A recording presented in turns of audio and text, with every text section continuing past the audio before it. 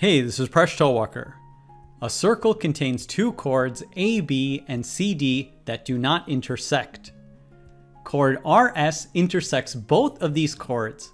It intersects chord AB at the point P, and it intersects the chord CD at the point Q.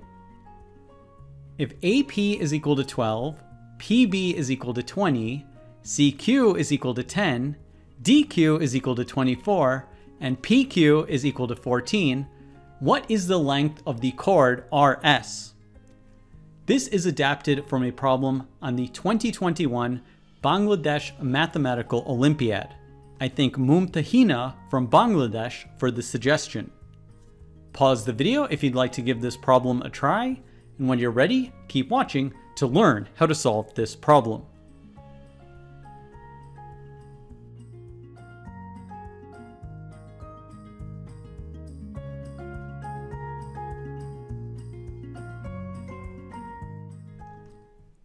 Suppose that PR is equal to X and QS is equal to Y.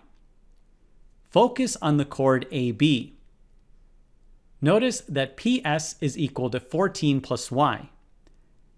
By the intersecting chords theorem, we have AP multiplied by PB, that's 12 multiplied by 20, is equal to RP multiplied by PS. That's x multiplied by the quantity 14 plus y. Let's now focus on the chord CD. From here, we will have RQ is equal to 14 plus x. We then have CQ multiplied by DQ, that's 10 multiplied by 24, is equal to SQ multiplied by QR. That's y multiplied by the quantity 14 plus x. Let's now focus on these two equations. First, we'll simplify the left-hand side. Each left-hand side is equal to 240. Then we will distribute on the right-hand side. From here, we will subtract the second equation from the first equation. We will then cancel out the xy terms. The resulting equation is 0 is equal to 14x minus 14y. This means x is equal to y. From here, we will substitute back into the first equation. We have x is equal to y, so we'll substitute for y. Then we will distribute to get a quadratic equation.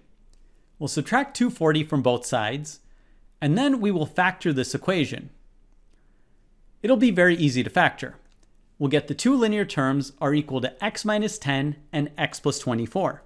This means x is equal to 10 and x is equal to negative 24 are solutions to this equation. Since x is a length, we want x to be greater than or equal to 0, so we'll eliminate this second solution.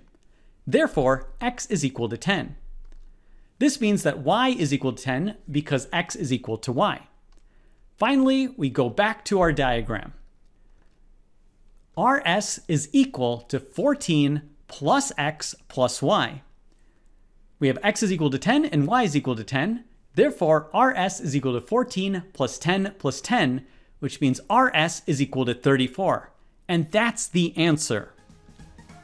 Thanks for making us one of the best communities on YouTube. See you next episode of Mind Your Decisions, where we solve the world's problems one video at a time.